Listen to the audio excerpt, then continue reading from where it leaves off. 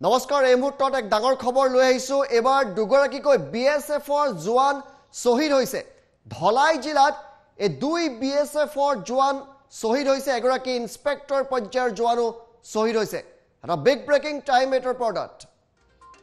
First on time eight B S F বাহিনীৰ ওপৰত ভয়ানক আক্ৰমণত শ্বহীদ হৈছে দুই জোৱান।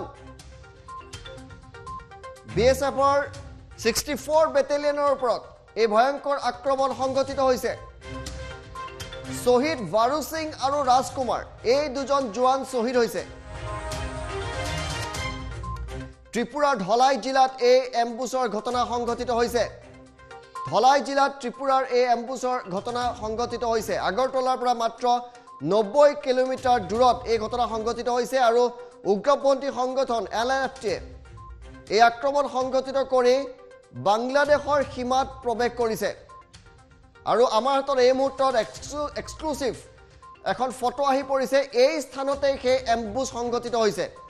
আমি যি দৃশ্য দেখুৱাই আহিছোঁ ইয়াতে সেই এম্বুজ হৈছে। এক্সক্লুচিভ বেণ্ডটো নালাগে। এই স্থানতেই উগ্ৰপন্থীয়ে আক্ৰমণ কৰিছে আৰু দুজনকৈ জোৱান শ্বহীদ হৈছে। এটা ডাঙৰ খবৰ আমি দিছোঁ বি এছ এফৰ এগৰাকী ইনস্পেক্টৰ পৰ্যায়ৰ বিষয়া আৰু আন এজন জোৱান শ্বহীদ হৈছে। হঠাৎ এন এল এফ টিয়ে ভয়ংকৰ এম্বুজ কৰিছে এই অঞ্চলটোতে এক্সক্লুচিভ ফটোগ্ৰাফ এই মুহূৰ্তত টাইম এইটৰ হাতত আহি পৰিছে আৰু এই স্থানতেই এই ঘটনা সংঘটিত হৈছে। আমি দুটা দৃশ্য একেলগে আপোনালোকক দেখুৱাবলৈ চেষ্টা কৰিছোঁ এই মুহূৰ্তত। বি এছ এফৰ ওপৰত এম্বুজ হৈছে আৰু ইতিমধ্যে বি এছ এফৰ ফালৰ পৰা এই কথা সদৰি কৰা হৈছে যে দুজন জোৱান তেওঁলোকৰ শ্বহীদ হৈছে। অধিক জানিবলৈ এই মুহূৰ্তত সংযোগ স্থাপন কৰিছোঁ কনচাল্টিং এডিটৰ প্ৰণৱ গগৈৰ সৈতে।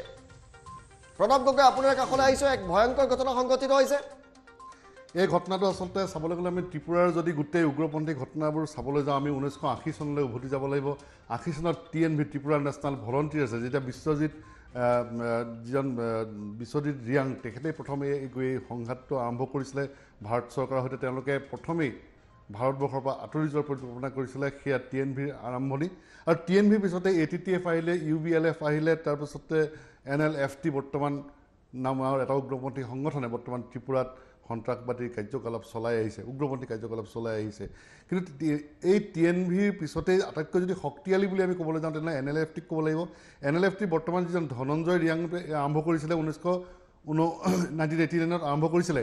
আৰু তাৰ পাছতে কিন্তু ধনঞ্জয় ৰিয়াং তাৰ পৰা আঁতৰি গ'ল। তাৰ পাছতেই বিশ্বমোহন দেৱবৰ্মাই বৰ্তমান চলাই আছে। বিশ্বমোহন দেৱবৰ্মাই এটা ডাঙৰ এম্বুজ কৰিছিলে দুহেজাৰ সোতৰ চনত য'ত তিনিজনকৈ লোক নিহত হৈছিলে। সেই হৈছিলে কি পৰিমল দেৱবৰ্মা বুলি এজন মানুহ নিহত হৈছিলে। তাৰ ধন- ধনঞ্জয় ত্ৰিপুৰা বুলি এজন ব্যক্তি নিহত হৈছিলে। মোহন কুমাৰ কুলাই বুলি এজন ব্যক্তি নিহত হৈছিলে। আৰু সেইদৰে সেইদৰে বিভাস ত্ৰিপুৰা বুলি এজন ব্যক্তি নিহত হৈছিলে। আৰু এই তিনিজন ব্যক্তিক এই বিশ্বমোহন দেৱবৰ্মাই হত্যা কৰি চৰি পৰিমল দেৱবৰ্মাই হত্যা কৰি তেওঁ ত্ৰিপুৰা বাংলাদেশলৈ পলাই যায়।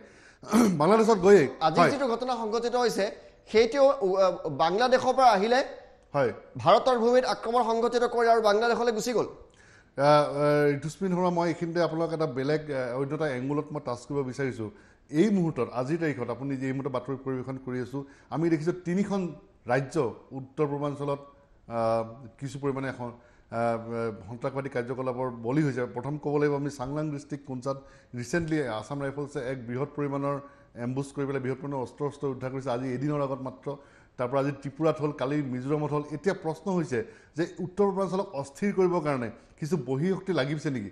বিভিন্ন ধৰণৰ ইণ্টাৰপ্ৰিটেশ্যনছ ইয়াত আছে কিছুমান মিছনেৰিজবিলাকৰ সকলোৰে কথা কয় ক'ব বিচাৰে চাইনিজ ইণ্টেলিজেঞ্চৰ কিছু হাত আছে এইদৰে ক'ব বিচাৰিছে। কাৰণ সেই মুহূৰ্ততে আপোনাৰ দেখিলে যে ত্ৰিপুৰাত যে, ম, অসম মিজোৰাম সীমান্তত জুই লাগিল আজি আহ, ধলাইত এইটো ঘটনা হ'ল আহ, আপোনাৰ খুনচাত এটা ঘটনা হৈছিলে য'ত বহুত পৰিমাণে heavy quantities of ammunitions Indian আৰ্মীয়ে recovery কৰিছিলে।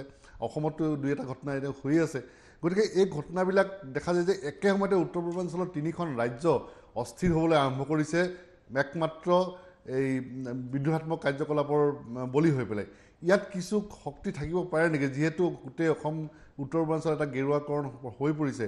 এই ক্ষেত্ৰত গেৰুৱাকৰণৰ বিৰুদ্ধে কিছু শক্তি জাগ্ৰত হৈছে নেকি সেই কথাটো চিন্তা কৰি চোৱাটো প্ৰয়োজন আছে এইকাৰণে ক'ব বিচাৰিছোঁ ত্ৰিপুৰাত আজি ইমান দিনে একো ঘটনাই দুহেজাৰ সোতৰ চনৰ পৰা ত্ৰিপুৰাত কোনো ঘটনাই হোৱা নাছিল। হঠাৎ দুহেজাৰ একৈছ চনত কেনেকৈ হ'ল? অৱশ্যে মাজত ইলেকশ্যনৰ কেইটামান ঘটনা হৈ গৈছিল সেইটো এটা বেলেগ কথা। কিন্তু হঠাৎ এই যিবিলাক মিলিটেণ্ট আউটফিট আছে এইবিলাক হঠাৎ এক্টিভ হৈ কৰা কাৰণটো অন্য কিছু ইংগিত বহন কৰে বুলি মই ভাবোঁ।